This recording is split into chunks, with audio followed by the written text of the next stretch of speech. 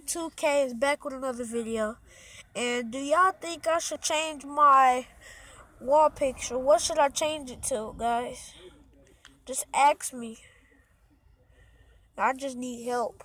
If y'all want me to leave it leave it right here, then put a comment down below and say leave it right here.